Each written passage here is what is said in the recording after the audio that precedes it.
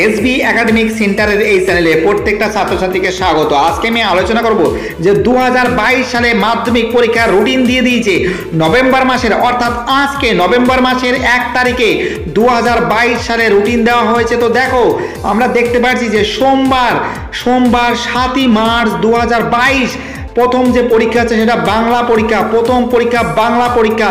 অবশেষে কিন্তু মাধ্যমিক পরীক্ষা রুটিন দিয়ে দিয়েছে দু হাজার বাইশ সালের সাতই মার্চ, কিন্তু প্রথম বাংলা পরীক্ষা হচ্ছে। তারপরে দেখো মঙ্গলবারে আটই মার্চ দু হাজার বাইশ সালের আটই মার্চ, কিন্তু আমাদের ইংরেজি পরীক্ষা। তারপরে দেখো বুধবার বুধবার নয় মার্চ দু হাজার বাইশ ভূগোল পরীক্ষা। তারপরে দেখো শুক্রবার এগারোই মার্চ দু হাজার বাইশ ইতিহাস পরীক্ষা। শনিবার বারোই মার্চ বারোই মার্চ শনিবার লাইফ সায়েন্স মানে জীবন বিজ্ঞান পরীক্ষা। সোমবার অর্থাৎ রবিবারের দিনটা শুধুমাত্র ছুটি পড়েছে, চোদ্দোই মার্চ দু হাজার বাইশ ম্যাথমেটিক্স মানে অঙ্ক পরীক্ষা। তারপরে দেখো টুয়েসডে টুয়েসডে আমাদের মঙ্গলবার, পনেরো তারিখে, পনেরোই মার্চ দু হাজার মার্চ দু হাজার বাইশ, ভৌত বিজ্ঞান পরীক্ষা, ফিজিক্যাল সায়েন্স পরীক্ষা।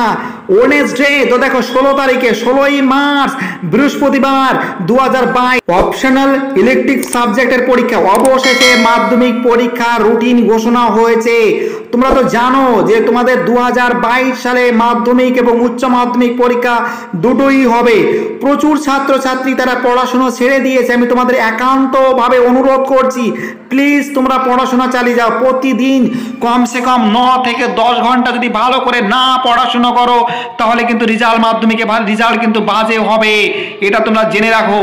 এটা আমি বলতে পারি দু হাজার বাইশ সালে মাধ্যমিক পরীক্ষা হবে। আমি কিন্তু তোমাদের অনেক আগেই বলেছি, অনেক ভিডিওতে আমি বলেছি যে দু হাজার বাইশ সালে মাধ্যমিক পরীক্ষা হচ্ছে। তোমরা প্লিজ পড়াশোনাকে অবহেলা করবে না। অর্থাৎ আমরা দেখতে পাচ্ছি দু হাজার বাইশ সালে সাত তারিখ থেকে মাধ্যমিক পরীক্ষা শুরু হচ্ছে এবং পনেরোই মার্চ পনেরোই মার্চ দু ভৌত বিজ্ঞান পরীক্ষার মাধ্যমে মাধ্যমিক পরীক্ষার সমাপ্তি ঘটছে। অর্থাৎ আমি বলতে পারি দু হাজার বাইশ সালে আমাদের ওয়েস্ট বেঙ্গল সরকার ডব্লিউ বিবিএসি কিন্তু পরীক্ষা নিতে চলছে। অবশেষে কিন্তু মাধ্যমিক পরীক্ষার রুটিন কিন্তু ঘোষণা হয়েছে।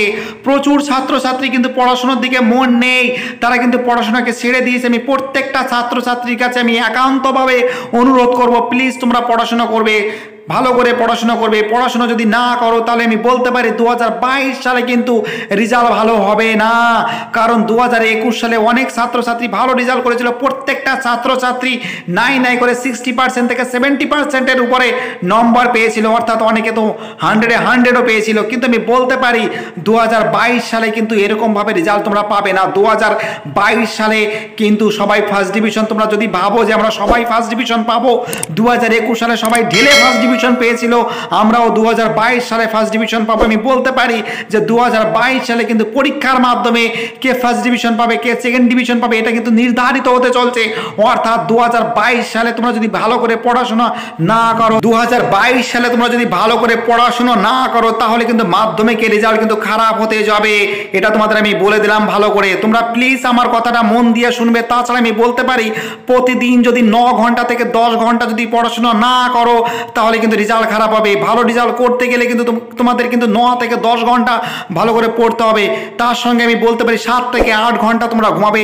আট আর সাত পনেরো ঘণ্টা হয়ে গেল। বাকি যে আমাদের সাত ঘণ্টা আছে বা ন ঘণ্টা আছে, সেই ন ঘন্টাকে তোমরা খাবার খাবে, স্নান করবে, ঘুমাবে, হালকা খেলে নেবে বা খেলাধুলা করবে। তোমাদের আমি বলতে পারি, মাধ্যমিকে যদি ভালো রেজাল্ট করতে চাও, তাহলে ন থেকে দশ ঘণ্টা তোমাকে ভালো করে টার্গেট করে পড়তে হবে। আমাদের এই ভিডিওটি দেখার জন্য আমাদের এসবি একাডেমিক সেন্টারের তরফ থেকে প্রত্যেকটা ছাত্রছাত্রীকে জানাই অসংখ্য ধন্যবাদ। সুস্থ থাকো ভালো থাকো।